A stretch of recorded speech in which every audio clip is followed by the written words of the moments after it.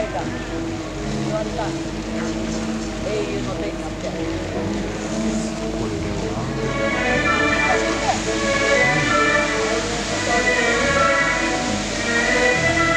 Hukuk hukuk hukuk.